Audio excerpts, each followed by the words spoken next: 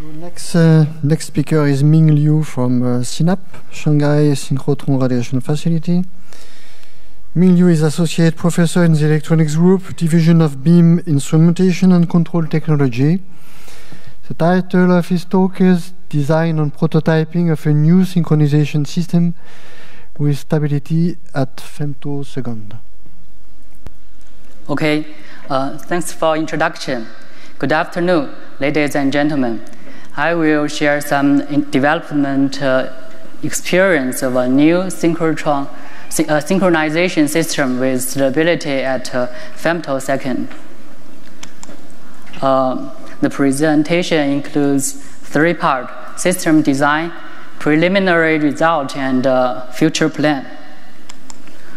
Mm, first, uh, we have 10 years development history of electronic timing system at the Shanghai Synchrotron Radiation Facility since 2007. We complete the development of version 1 and uh, version 2 uh, hardware modules and uh, apply the event timing system in in Pohang light source uh, in Korea and uh, Super KEKB in Japan and uh, uh, Sirius light source in Brazil. Uh, because of various noises and uh, ripple and uh, uh, interference and um, the development of the electronic timing system has encountered its bottleneck. So the performance, the jitter reaches 6 picosecond, it's the RMS value and the phase shift reaches 35 picosecond per degree centigrade. So uh, that's the uh, bottleneck of electronic timing system. Uh, so we began to develop a new system to achieve better performance. Uh, the goal of the new system uh, is as follows. The short-term jitter of the transmitted RF signal is about 10 femtosecond RMS value, and the long-term drift is 40 femtosecond. Uh, the feature of the system is uh, very fine phase delay is detected based on the theory of Michelson interference, and uh, the RF reference is recovered from fiber link, not rely on low-level RF. It's a full uh, fiber optic network. There is no free air path. And the fan-out distribute RF reference to devices around the big facility. Uh, traditional event timing system is integrated to improve the stability. Mm, this is the basic structure of the system. Uh, the RF reference is, modul is modulated in the laser carrier. This is a continuous wave laser with narrow line width and low temperature drift. It provides a, a carrier signal. Mm, this is in the transmitter. Uh, and the phase detection and the phase compensation are completed in the receiver. The phase drift is detected in homemade electronics based on the interference theory, and the phase compensation completed by the optical delay modules according to PID algorithm and we have homemade electronics test platform. Um, this is the laser. It's a continuous wave DFB fiber laser has a one, uh, one line width of uh, kilohertz and uh, wavelength is about 1560 nanometer. Uh, because the change of uh, ambient temperature brings slow drift of the laser frequency. the slow drift can be tens of megahertz per degree centigrade. So the output of the laser is locked to, locked to achieve a very high stability over long term. Uh, this is uh, the optical part structure of the system. It's based on the theory of uh, Michelson interference. Um, the RF reference is modulated to the laser carrier, and the signal is divided here. Uh, this is one arm of the Michelson interferometer. The frequency of the signal, transmitted signal carrier is uh, shifted by tens of megahertz. This is the other arm of the uh, uh, interferometer. The bit, the bit frequency signal is uh, detected here, so we can get a phase drift of the reference then we have a PID controller to drive the optical delay modules to compensate the phase drift. Then we have uh, uh, recovered the uh, very stable reference signal. The optic network can provide terahertz bandwidth, low attenuation, and uh, electric isolation. Since the carrier phase in terahertz converts to bit frequency phase in megahertz. So the uh, detection accuracy is improved by six orders of magnitude. Uh, ordinary single mode fiber, but not uh, polarity maintained fiber, is utilized to reduce the cost. Um, these are our uh, hardware modules. The transmitter modulate RF reference. The receiver at the receiver, both the detection and compensation at the receiver. And hardware-based PID algorithm allocate delay amounts to two delay modules. One is for uh, cost adjustment, the other is for fine adjustment.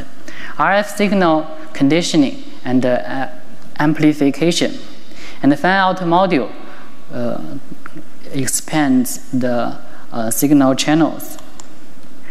Uh, this is a simplified uh, structure of how to detect and compensate phase drift. After the optic electric conversion of the beta frequency signal, we can um, detect the phase delay of the transmitted signal. And uh, uh, each fiber used in this system will be tested before use to obtain the dispersion parameter. And uh, feed-forward compensation is applied here to correct uh, the uh, group delay fluctuations effect. And uh, then we compare the phase of the RF reference before and after the compensation. The difference value is the quantity to control in the PID controller. so the PID controller can guarantee accurate output to the executives, uh, executive devices. Uh, the optic delay line is for the cost adjustment. The fiber stretcher is for the uh, fine adjustment. This is a homemade electronic to uh, detect the face. Um, this is the, we still have time. Um, this is a test bench. Um, uh, the three uh, images on the top is uh, from the simulation, and the three images on the bottom is from the test. Um, we can see the results agree with the simulation. The recovered RF signal was locked to the original RF signal at the transmitter. Uh, and the bit frequency signal was observed uh, in the time domain and uh, the frequency domain. Uh, these are the result uh, without compensation. Uh, the phase drift of optical modules due to ambient temperature change, uh, including laser, analog modulator, fiber coupler, and uh, photodiode, and, but there is no long fiber here. We can see the phase drift is about 10 picosecond per degree centigrade. Uh, this is, uh, these are the uh, phase drift of uh, optical module due to ambient temperature change with a fiber of 2 kilometer. Uh, we can see it brings the phase drift about uh, 150 picosecond per degree centigrade. Mm. This is the preliminary result uh, uh, with the compensation.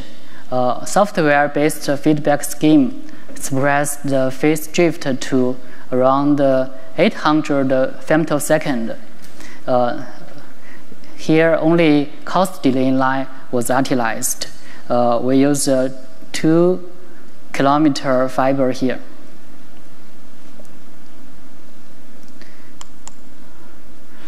uh, this is our future plan. We will integrate the event timing system to the new system uh, by the uh, wavelength division multiplex. The timing events are transmitted along the same fiber, and the timing events could be stabilized against temperature change. Uh, this is the integrated system structure. Mm, the RF reference is also modulated to the continuous wave laser carrier, and uh, the repetition rate signal is for triggering the timing sequence. The generator transmits modulated RF reference and event stream through one fiber. Uh, the fan out distributes RF reference and uh, event stream and compensate phase drift of uplink. The event receiver compensate uh, phase drift of uplink and uh, recovers the electric RF reference and, uh, and event stream. Uh, we have EVR modules in micro TCA chassis output uh, stabilized uh, clocks and triggers.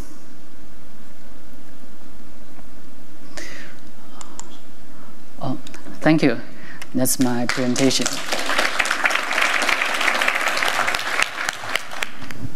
Um, when you're saying you're um, doing an event distribution system, what kind of bandwidth do you have in mind for the new system? So, how many events in, in terms of bandwidth will you be able to put through? Mm, I'm, I'm sorry. Um, you, for about the event timing system?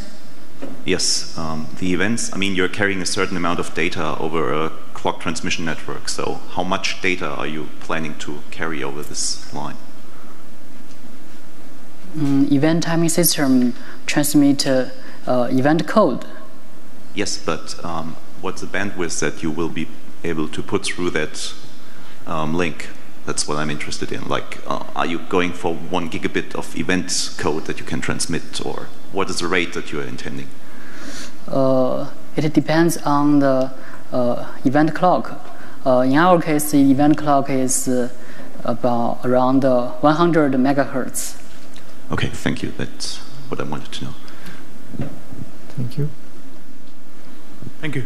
Uh, similar timing stabilization scheme was uh, done at LCLS at SLAC, designed by Ralph Wilcox from Berkeley. What we discovered, though, was that the fiber is stabilized at the optical wavelength, but the phase velocity of the modulated signal is different and therefore not stabilized to the femtosecond stability of the optical wavelength. So sub picosecond stability is achieved but one can never achieve femtosecond stability as you would hope for in this case. The difference being, again, you stabilize it at the optical wavelength, but the signal of interest is, has a different phase velocity, the RF and the timing signals. Oh. a, a comment, really, not a oh. question. Yeah, okay. Thank you for your comment. Yeah, thank you for that. I think we have to switch to the next speaker. Thanks again.